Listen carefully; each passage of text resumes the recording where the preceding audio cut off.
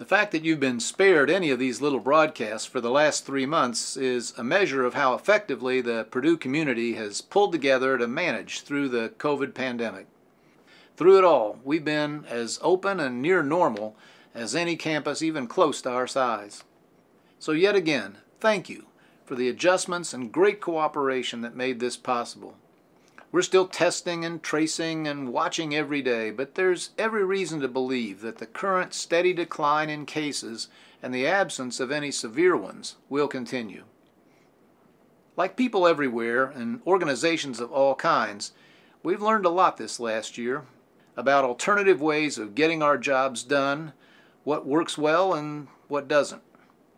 Every day brings new accounts about how the world of work will be permanently changed by what's been learned and by the technological advances that necessity has spurred. While some activities clearly need to move back to their previous operating modes, in-person instruction being the most obvious example, many others are candidates for new thinking and new arrangements.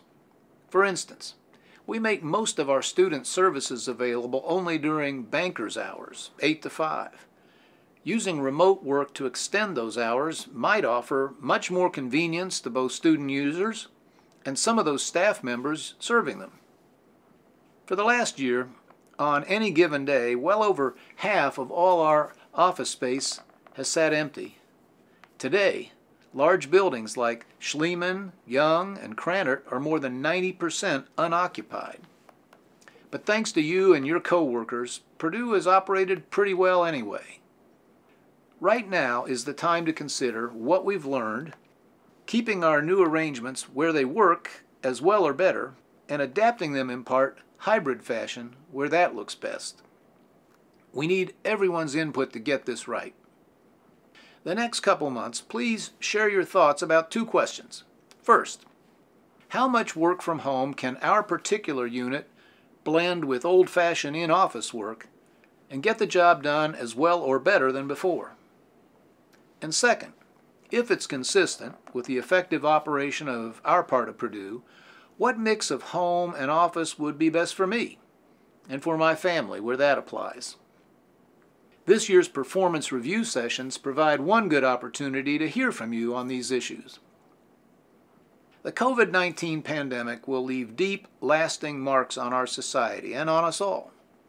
Many are tragic but others as they change the way we communicate, protect our health, shop, work, can bring new flexibility and efficiency to our jobs at Purdue and our life away from work. Let's all pitch in to figure out, as Boilermakers always do, the best way to tackle the problem. No, make that the opportunity.